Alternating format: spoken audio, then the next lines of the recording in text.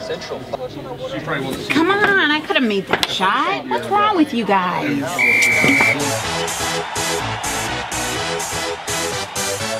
Y'all ready for this?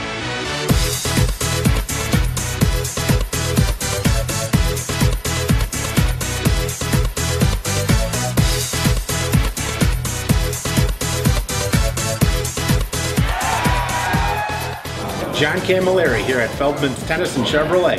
Come to our dealership between March 16th, 17th, or 18th. The person with the most brackets won wins the big screen TV.